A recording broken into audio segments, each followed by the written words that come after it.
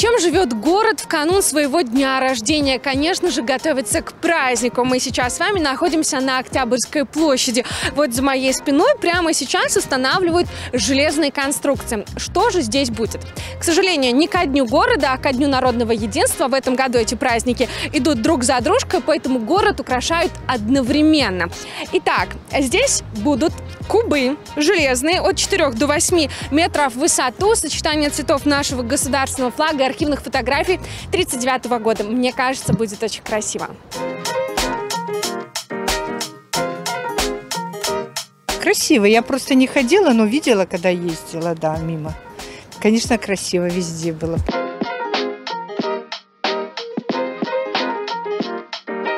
А вот эти полотна на колоннах у ратуши очень похожи на те, которые мы снимали в прошлом выпуске про то, как делают украшения ко дню города. 8 метров. Вот эта красота в цветах нашего государственного флага. На сюжет ссылочка сейчас появится сверху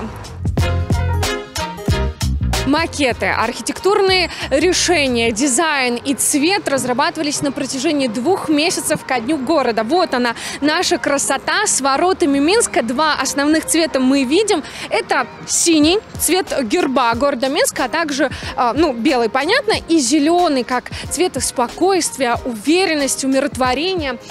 Что же мы здесь видим? Очертания самых знаковых достопримечательностей Минска. Ратуша, где мы и находимся. Площадь Победы, Дворец спорта, Колесо обозрения. Также вот голубым цветом я вижу Дворец независимости.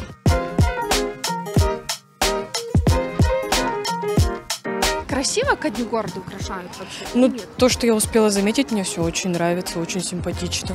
Откуда приехали в Минск? Из России. Из России. Интересный город, замечательный. Интересная архитектура, совершенно отличная от нашей. Поэтому совсем по-другому. Да. Природа, деревья пострижены по-другому, да, чистота, люди другие. Очень красиво, могу сказать, что да. Молодцы. Может быть, чего-то не, не только хватает. к празднику, не только к празднику, и обычно, ну и в будние дни очень чисто, убрано все, поэтому нравится, очень нравится. Уже в эту субботу, 14 сентября, Минск отметит свой день рождения. 957 лет исполняется любимому городу. Более сотни мероприятий пройдет в столице. Конечно же, самые основные в центральной части города, вот Парка Победы до Ратуши. Ссылочка на программу мероприятий будет в описании.